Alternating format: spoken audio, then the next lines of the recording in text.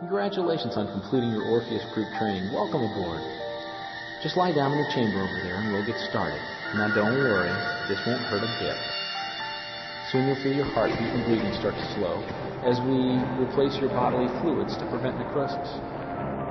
Finally, by the time you flatline, you will be able to see and experience things that most people.